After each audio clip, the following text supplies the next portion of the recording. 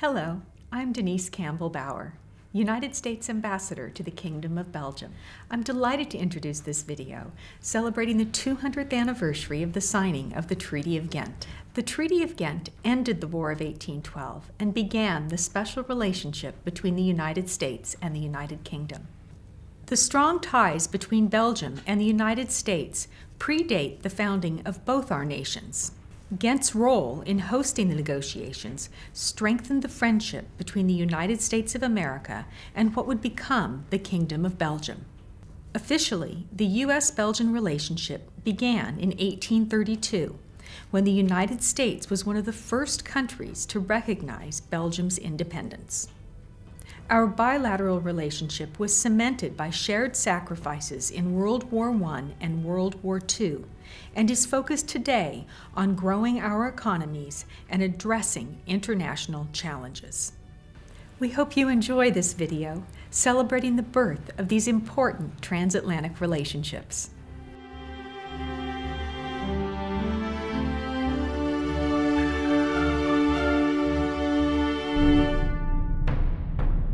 April 28, 1814.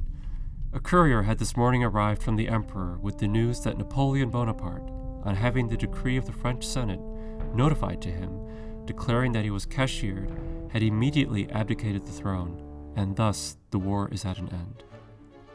With this prospect of a general peace in Europe, I commenced my journey to contribute, if possible, to the restoration of peace to my own country.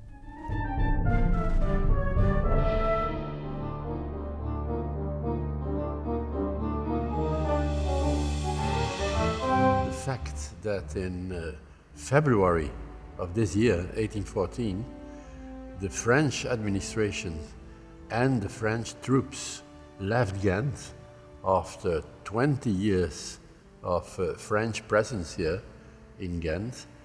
It was at this moment the end of the era of Napoleon, and the streets of Ghent at this moment were colored by uh, troops. You have to understand that the War of 1812 was a continuation of bad relations between the United States and Great Britain that started with our Revolutionary War 25 years earlier, 30 years earlier.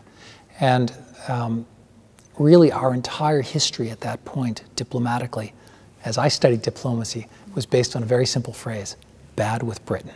What happened uh, in America since the beginning of the independence in 1776 uh, was of highly interest for what happened in Europe. June 24, 1814, St. John's Day, and the day of our arrival at Ghent. We came through St. Nicholas and Lokeren to Ghent, where we arrived at 4 in the afternoon and took lodgings at the Hotel des Pays-Bas on the Place d'Armes.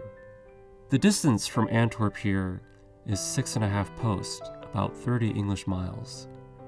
The road a perfect level and well paved. The country a continual garden. When you look at the composition of the two delegations, then the American delegation was very high level. It was an amazing delegation, and to understand the delegation, it's important to understand how important the War of 1812 was for the United States. Uh, for the United States, that war was an existential war. If we lost that war, we may have lost our independence. A part of the English delegation was dressed in a military uniform. I think uh, nobody of the American delegation was dressed in a military uniform. They were um, citizens. Uh, high-class citizens.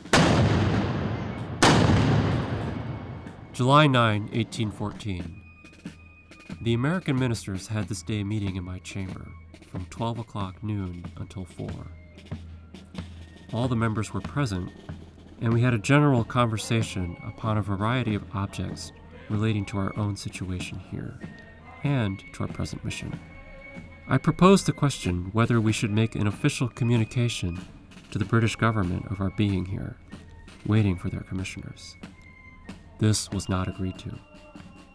But it was determined that a letter to our own government should be written, to inform the Secretary of State that we are here and transmit copies of the correspondence relating to the removal of the seat of negotiation from Gothenburg to Ghent.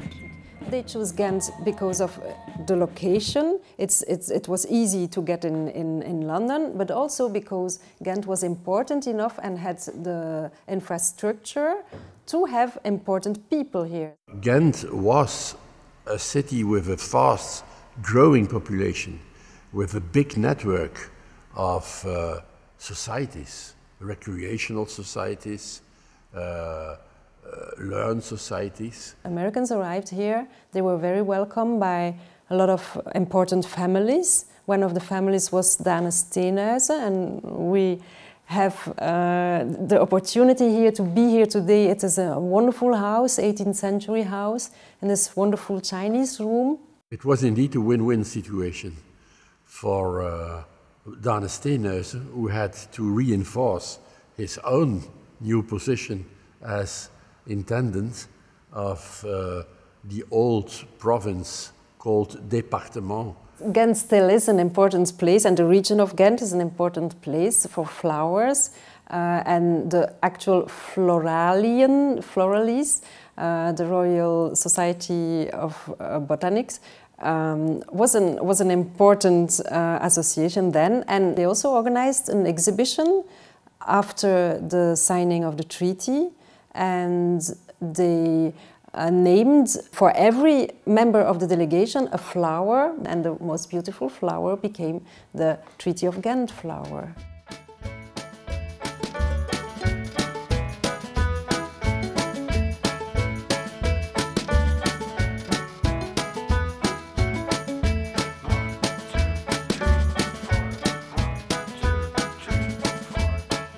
October 12, 1814. I made a draft of an answer to the last note from the British plenipotentiaries, but had not finished it when the time of our meeting came. At the meeting, Mr. Gallatin produced his draft and read parts of mine. They differed much in the tone of the composition. The tone of all the British notes is arrogant, overbearing, and offensive. The tone of ours is neither so bold nor so spirited as I think it should be. It is too much on the defensive and too excessive in the caution to say nothing irritating. Negotiations uh, often play on psychological states. Especially in those days, for the American delegation, it took them sometimes two months to get instructions from Washington. So they really were on their own in many ways. The American delegation arrived on June 24th, but the British delegation waited and waited, even though they could come easily at any time. And the reason they were doing that was because they hoped that the war would go in their favor. September 20, 1814. We so fondly cling to the vain hope of peace that every new proof of its impossibility operates upon us as a disappointment. They had to put every man they could in the field, even arming the president to fight against the British, uh, because we thought we were on the verge of losing. Had we lost Baltimore, uh, the Battle of Baltimore, we would have been in a position where our negotiators could not have negotiated uh, a fair deal for the United States, and we might even have lost our independence. You, you can see it in, in the newspapers and, and, and the books in the library of the Société des Gants, oh, how high the interest was for what happened in that new young country. It was not only a young country, it was a completely different country, the United States of America the constitutional power was something completely new, very interesting for uh, a new political class. Uh, the national anthem was written by Francis Scott Key as he watched the battle in Baltimore Harbor. And uh, when he saw uh, what he called the Star Spangled Banner in the morning, what he really meant was that in seeing that flag, he knew the country had survived. When that news reached our delegation, our delegation was in a much better position to negotiate with the British. The British thought that by waiting they'd be stronger, but it didn't turn out that way.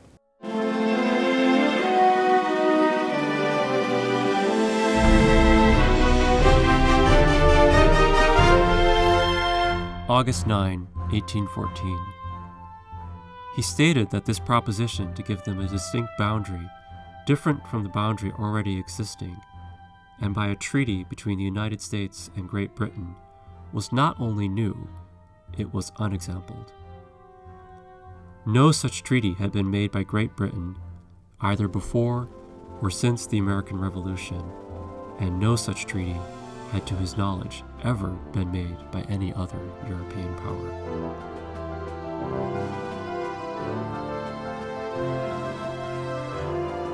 And unfortunately, it took very long before letters arrived. So I think it must have been very hard to live here for such a long time, far from his wife who was in St. Petersburg, far from his children who were left in United States with his parents, um, yes, that must have been very, very hard. And that lack of communication had also terrible consequences because, probably, as you know, after the signing of the treaty, the war still continued. And in New Orleans, the, the famous Battle of New Orleans happened after the signing of the treaty. December 24, 1814. We went to their house, the House of the British. And after settling the protocol of yesterday's conference, Mr. Baker read one of the British copies of the treaty.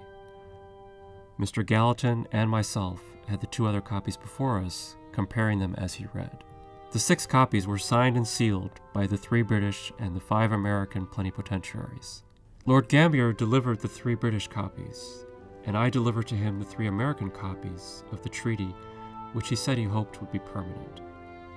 I told him I hoped it would be the last treaty of peace between Great Britain and the United States.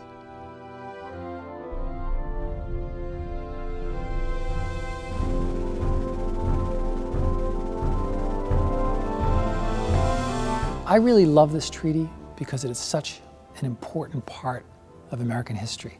If I were trying to explain to Americans why they should care about the Treaty of Ghent, I'd say, you know, you know about Lexington and Concord, you know about the Liberty Bell, but it turns out that part of our founding, part of what made the United States what it is, happened right here in Ghent.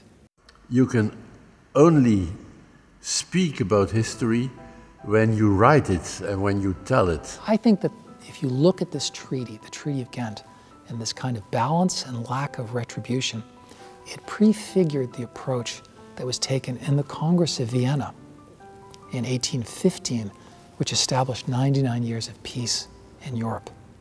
So I think it's really a great model of moderation and diplomacy. It's a great model of an open, kind of open-hearted diplomacy. And it's a model that really has produced a unique peace. There really are no closer nations in the world than the United States, Canada, and Great Britain. It's a unique peace that's lasted 200 years, and it's extremely strong right now. It's stronger than it's ever been.